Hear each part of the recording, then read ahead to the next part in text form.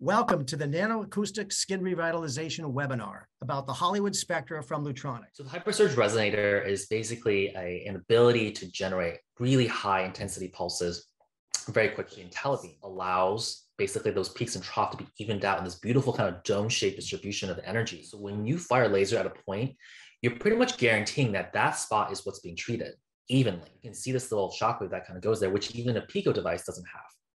And the reason this can be done is because the HyperSurge and IntelliBeam together um, gives you better results in terms of preventing lateral damage, effective pigment clearance, and this also prolongs secondary collagen stimulation. This laser is a 1064 532 nanometer wavelength laser, so it can be really used to treat a wide variety of pigmented conditions. This pigmented uh, spot, which is so common, and, and this treated it really just beautiful. Nevus of Ota, which is a very difficult to treat type of birthmark, but you can see this just cleared beautifully as well. I find this to be the best tattoo removal laser on the market. I've tried many. Um, it's so effective, so fast, and it really is a safe device to treat tattoos. The PTP Plus is a specific type of um, uh, way the laser can fire the pulses. So instead of just one big peak pulse, you can break that energy up into smaller and smaller fragments. So each time you fire a laser, for example, PTP4 is going to give you kind of four mini pulses in a row. This is the safest way you can use to treat skin that likes to rebound in terms of pigmentation and melasma. This is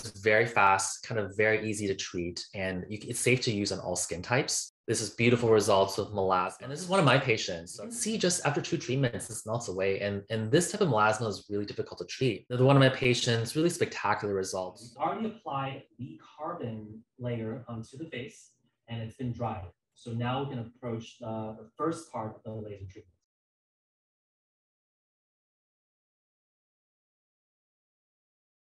So you can see that immediate glow. It's such a beautiful result. Acne peel, which is very similar to Hollywood laser peel, there's an extra step you can do to additionally treat active acne. One of the capabilities that I had in my uh, old Pico device was that it had a fractional microbeam that was not yet available on the Hollywood Spectra, and now it has arrived. Thanks, Dr. Wang. We wanted to develop a device that that fit the very big gap between the traditional Q-switch nano lasers and the picosecond lasers. And there's quite a huge gap uh, between those two products, whether it be reliability, uh, effectiveness on tattoos, um, safety, and so forth. And one of the things missing from the nano-based devices, because they just don't have the peak power, is this ability to generate LIOBs or laser-induced optical breakdowns in a microbeam pattern. And the key uh, part of this is that IntelliBeam and the uh, and the HyperSurge that nanoacoustic pulse. But it's this true combination and this very high peak acoustic pressure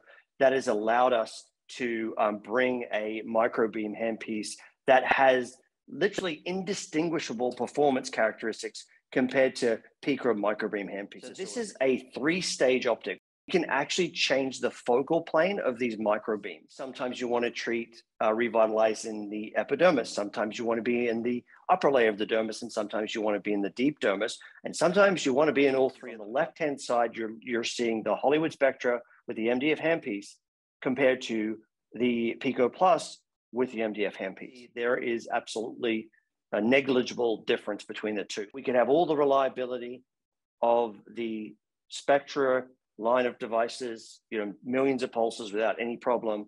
Um, and we could hypersurge it to get even more pico-like effects, but then we could add on this MDF, this microbeam optic, and actually go toe-to-toe with even our own picosecond device. This is one of the original articles that were published highlighting some of the key components and uh, of how uh, this new device is uh, very effective.